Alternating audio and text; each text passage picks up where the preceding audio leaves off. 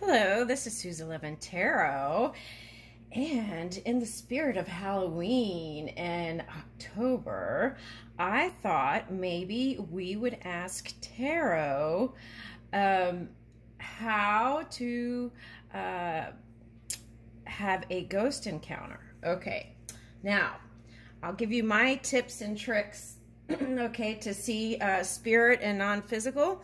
And, um, and then so um, okay, let's get started. I'm going to be using uh, this postcard from Studio Ghibli. And, um, okay, what else? Okay, I'm going to be using this Colette Baron Reid, The Enchanted Map. Okay, Oracle cards. Okay, and what else?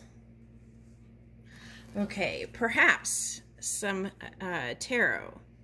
Okay, so I think this is called the Everyday Witch or something like that. Okay. Okay, so let's get started. Okay, so I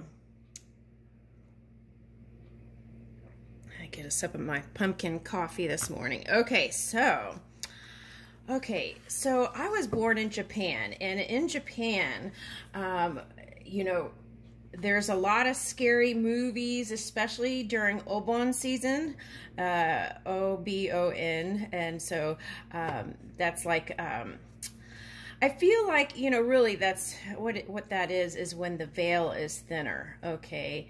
So, um, anyway, so that um, it's like honoring the ancestors in Japan. So that month or that time, there's lots of ghost movies, and Japanese ghost movies are really scary. You've seen some of the Japanese uh, films, uh, and they are kind of creepy, right?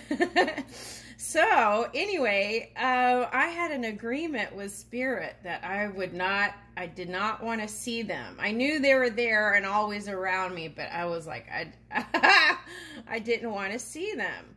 Okay, so um, as uh, as because I saw so many scary Japanese movies, really. I used to stay up and uh, I had a TV in my room, so I would like put the towel, you know, down on the crack and um, and then uh, get really close to the TV because you, we didn't have any of those uh, ear things and stuff back then. So I would get really close to the TV and um, and then listen on a really low level. the ghost stories, I mean, at midnight.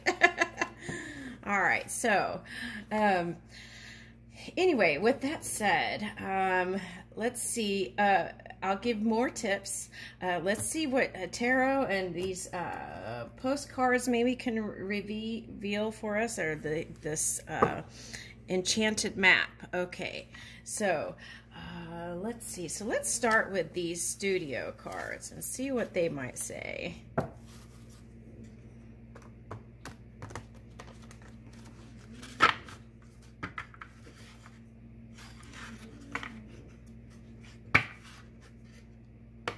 I am getting my Halloween Pumpkin Tarot.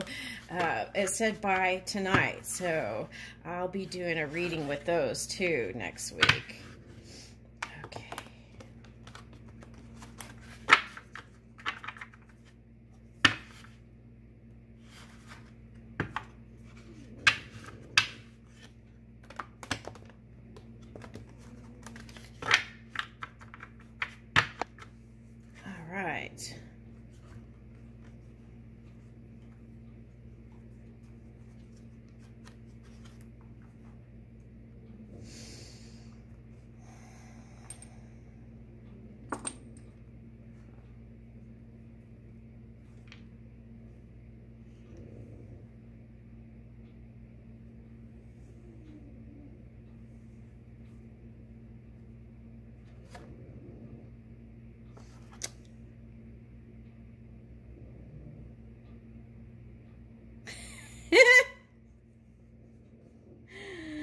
Okay, so I'm getting, if you do go, uh, get a support team, okay? There's power in numbers. Okay, so I would, um, I would uh, get a group of people and and also it, for safety purposes too right okay so uh, get a group of people together and um, and then uh, do the seeking okay so let's see what else. That's your cheerleader team. Okay. All right.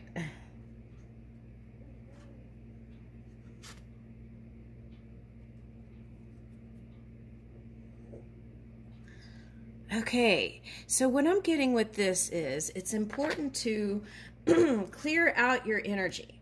Okay, um, you have to kind of uh, see how his eyes are wide eyed. Okay, so kind of have like this childlike wonder where you have a clean slate and you don't expect to see anything, but you're looking. It's that kind of feeling. Okay. All right. And uh, also, um, I'm getting meditation. Okay, so relax. You need to be in the flow and the ease, okay? Because to see the spirit, it's a subtle energy, okay? So, and, uh, so it takes kind of like you can go out in nature and connect with nature too i'm picking up okay and start connecting it in the daytime see here the difference night and day. Okay so connect in the daytime okay um, with nature. And then that is going to help you see better in the in the um, in the night. Okay. Let's see what else they have to say.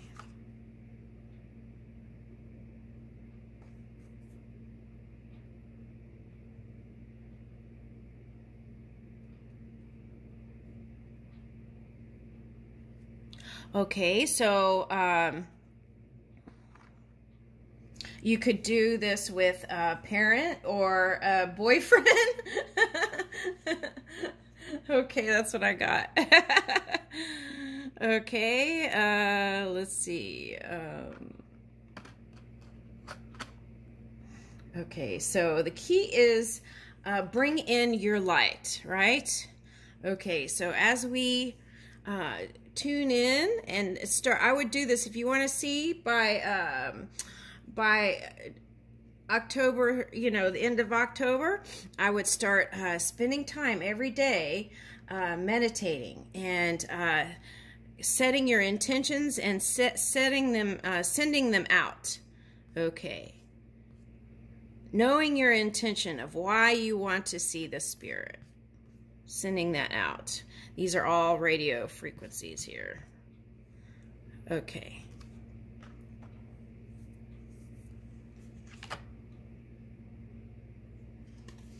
Hmm, okay. So, um, as we connect with these beings, okay, uh, be mindful of uh, honoring them and also um, respecting uh, that they are beings too, and they also do have, um, can have uh, sensitivity, you know. Um, they may not have the scale of emotions that humans do or even that depth of understanding, but the potential is there because all things are filled with this one energy and we all have access to that. Okay, the other thing I'm picking up is get creative. Okay, see how in the back here there's like a mural? Okay, so whatever you do to get creative, whether it's painting or watercolor or, um, you know, this kind of art or music, whatever you do for creativity to get you in the flow, do that. Okay, and you can start communicating even if you don't see them.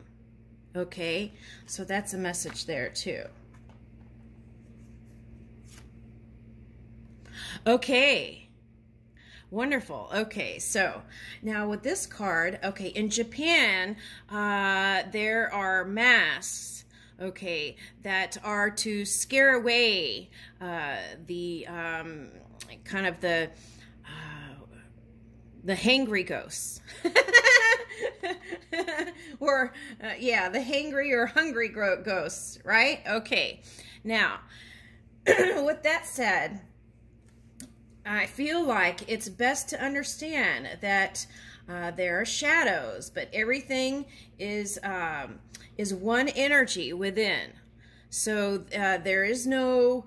Um, some people have contracted to believe in an evil energy. Okay, so then they are going to see that. Okay, so uh, now what I, I'm going to say to that is. Um, and then there are the mysteries, right, of the people who, uh, or the energies who are in that in between world. Okay, so with that said, um, now you have to purify yourself to a degree. At least do do that through meditation. Okay, every day, and then I feel like you would be ready by like Halloween. Okay. Um, Okay, and then, uh, or even sooner. Okay. The key is, is to believe in understanding that these material is just, uh, the substance. Okay, so spirit is everything and everywhere. Okay, so understand that. And that way, as you release that fear, you can connect uh, wholeheartedly with uh, the non physical. Okay. So that's releasing the idea of evil or bad or duality, good or bad, releasing that and really coming into your heart wholeheartedly, right? Okay, and not needing, uh, you know, any kind of, uh, see here, uh, there's like some kind of thing here, like a weapon. You don't need anything like that, okay? All right. So uh, just go um, with your heart and your subtle energy, and of course your common sense, okay, uh, when you're looking. And as you tune in to your energy, you will know when to leave or when to stay or what to do. Okay, so that's very important uh, because that is how you stay safe.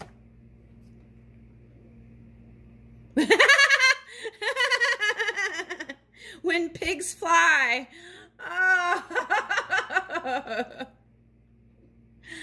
okay, so you have to go with a belief, right? And um, open to the possibilities of seeing it, right? Here's a thumbs up from the pig saying to you, you can see, okay, the non physical energy. Okay. Okay, so now listen. I never noticed this, but this pig has a third eye here. Okay, so I, you know, your whole body is an eye. Okay, so tune into all your eyes, okay? And uh, I would do that. Okay, so, okay, and get real light and airy, okay, with your energy. Okay, that's what I would do. Get as light and free as possible. Release any kind of dense energy and things with duality and stuff like that. So you can fly high in your passion of wanting to uh, connect and either see a ghost or a uh, spirit. Okay. Now, okay, so here we are here. Let's see what this is.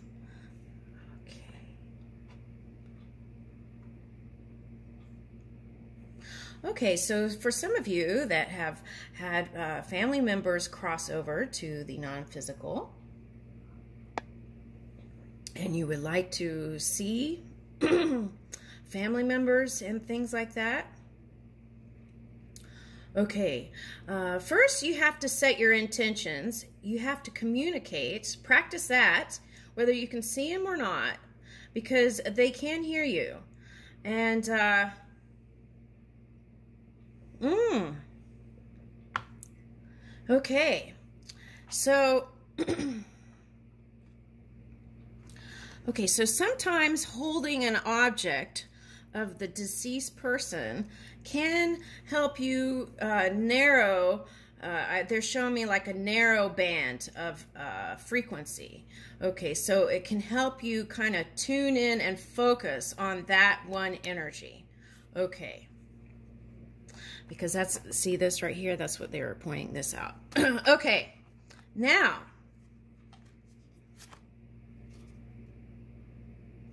Ooh, okay. So this this is very oh this is nice. Okay, all right. So it okay. So um, the in between times is when the best time you can see uh, non physical energy. I feel like for me it's all times. It's not okay, but now how to begin is how I started was looking in the in-between times. So that would be like at sunset and sunrise. Okay? And why is that? Okay, I discovered from personal experience the reason why is the lighting. Okay, the reason why uh, people aren't seeing them is because they don't have the right lighting. If it's too, they're always there Okay, that's the thing. They're always there, but you can't, uh, let's not use the word can't. Okay, hold on. They are always there in the right lighting, like in sunset and sunrise, you have a greater chance of uh, seeing them. They are more visible. Okay, you can see them due to the lighting. So with that said, uh, what I want to say is, Okay, feel your way through it. As you meditate and get in tune with the subtle energies inside you, okay, then because everything is your universe, okay? So as you tune in to the subtle energies that is you, the universe, then you can see the universe, okay? So, so if it's too bright, then it's gonna it may be harder to see. So you want to have kind of dim lighting, but enough lighting to see. Okay, so that is the clue there. Okay, wow, this is this is really good. Okay, so um, what I'm getting with is um, connect with the fairies. Okay, so some of you might laugh at fairies, and you remember the Notting Hill girls, I think that's what they're called. Uh, they were laughed at and uh, kind of ridiculed and, and mocked and things like that. It was uh, absolutely horrible. Okay, so um, with that said, all plants are living beings, okay? And as we're learning, okay, now they have devices like Plant Wave. Okay, so, ooh, that's nice. So maybe if you're seeking, take your plant wave or sine wave uh, with you, and uh, that could also um, be a point of attraction for non physical energy because all plants are living beings, and you will be surprised to see a little creature, okay, uh, in the flower. And that actually happened to me the other day. Wonderful. Okay. All right. Okay. So with this card, I'm getting that moon phases can also help you to see uh, at better times. So as you tune in to your own energy, you will know when these times are. You will be able to feel it. Okay. Okay. Okay. So, um, Okay, so I feel like this is will be you off on your journey to uh, seek uh, in the electric waters. Okay, connecting with the spirit of all. Very nice. Okay. Your adventure in the electric waters.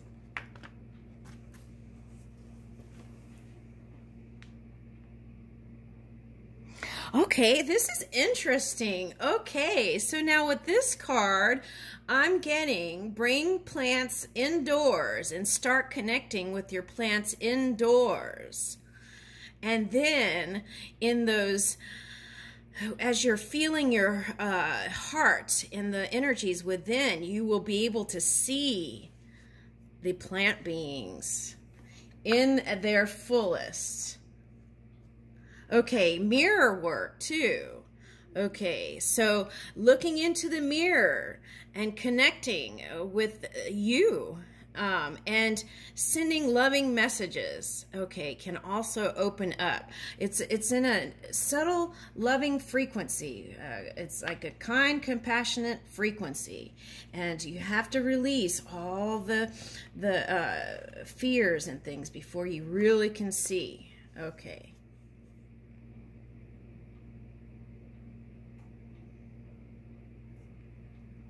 all right so then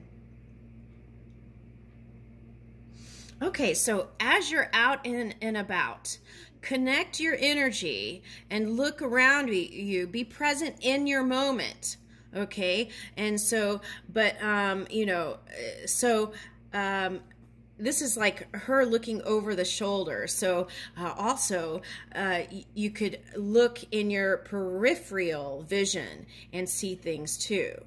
Okay, and the other thing I'm getting here with this guy, okay, is his eyes are closed. So the practice is to uh, start seeing with your heart and moving from that space. Okay. And here's a magic bus. okay.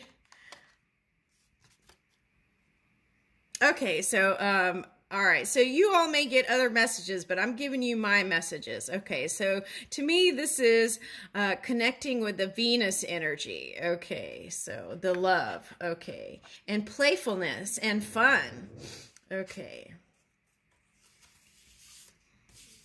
Okay, and move with your passion in this. Okay, so again, this is before you go out, okay, connect. Okay, that to me trains are spirit. So before you go out and before you go on any track of energy, connect with spirit and tune in. Okay.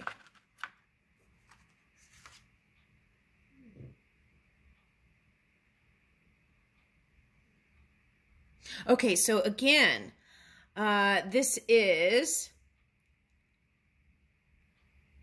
okay, this is the, um, the harmonica and so music is a good way to get in the flow a gentle subtle music okay maybe classical or even uh you know some sort of sounds okay all right, so harmonica and guitar is here. Okay, so now with that said, with the raccoon, again, you're going to have to believe in the positivity of things to really um, get the most out of your experience. Okay.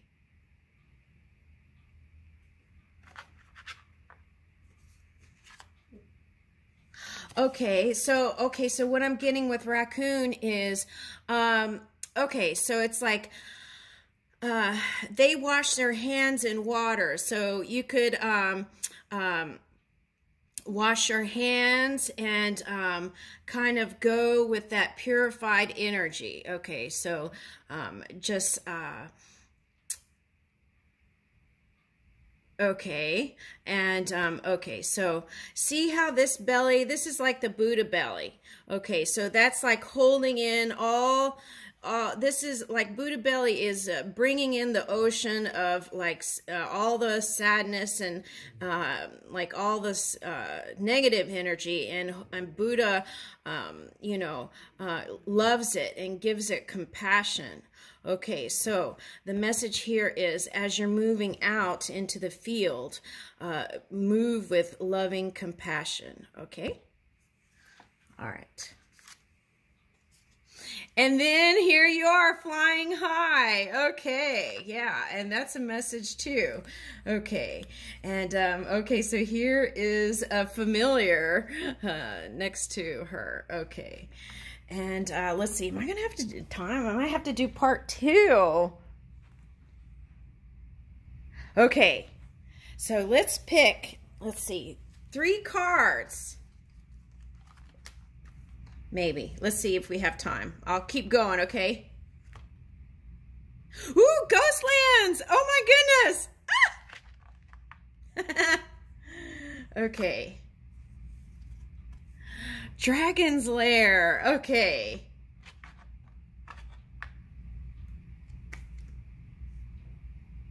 Sacred Pool. Okay. I'm, i may not have that much time, so I'm going to go quick. Okay. And uh, so I I might uh, write the the message on the thing if I have time, but I'm going to give you my channel message. Okay.